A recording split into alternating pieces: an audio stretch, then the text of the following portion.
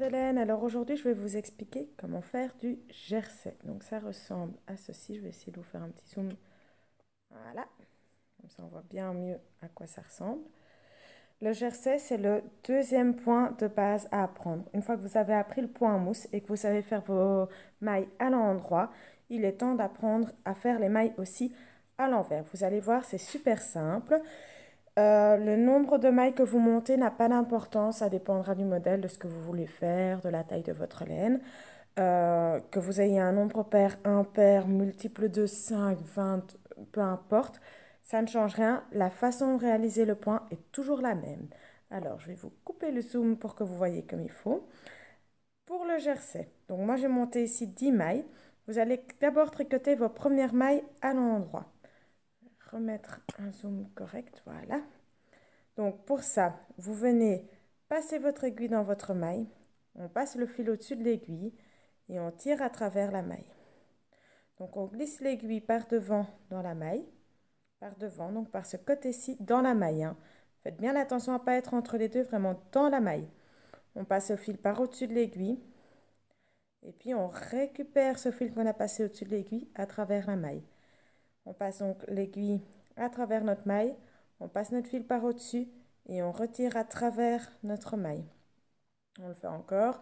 On passe fil, l'aiguille dans la, maille. Attention, bien dans la maille. Vous voyez, ici j'ai encore mon fil là sur le côté.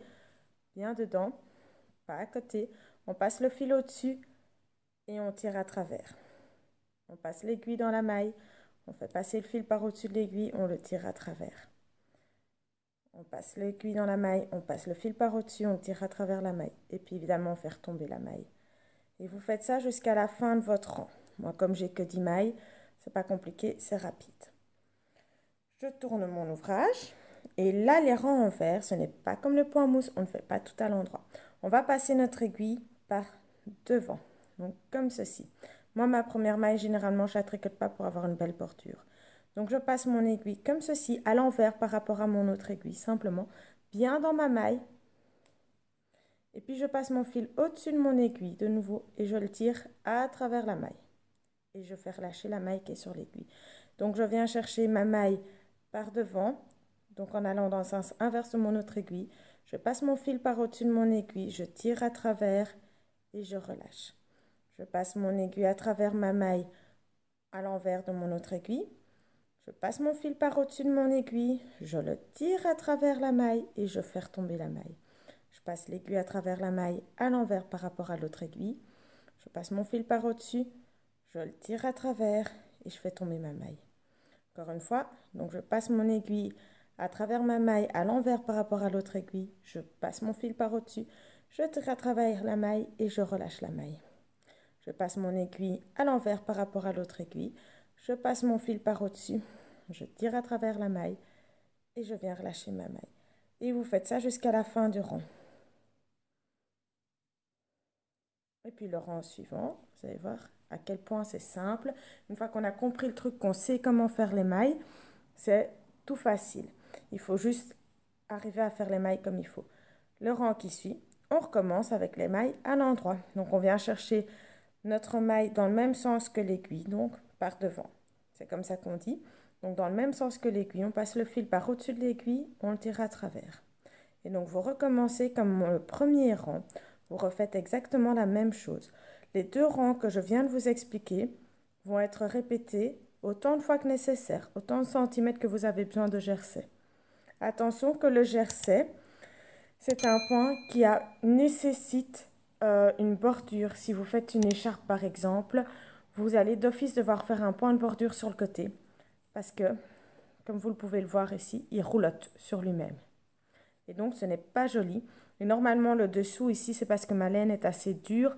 Mais si vous prenez une, laine plus souple, moi c'est un coton ici, mais avec une laine plus souple, ça roulotte aussi, ça vient aussi faire des petits trucs comme ceci.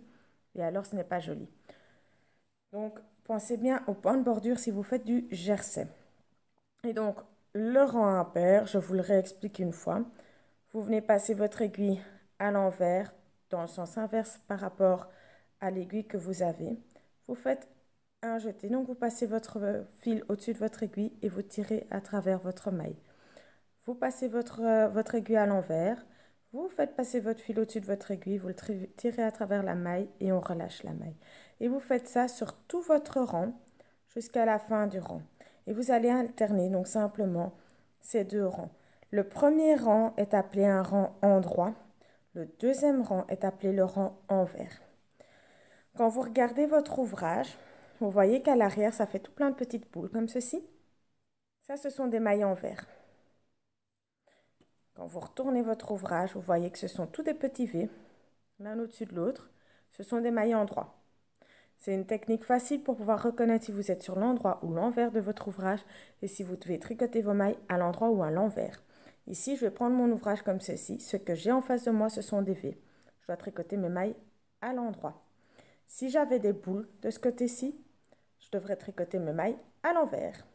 Voilà, J'espère, mes petits fans de laine, que je vous verrai pour mon prochain tuto et que celui-ci était bien clair. Ciao, ciao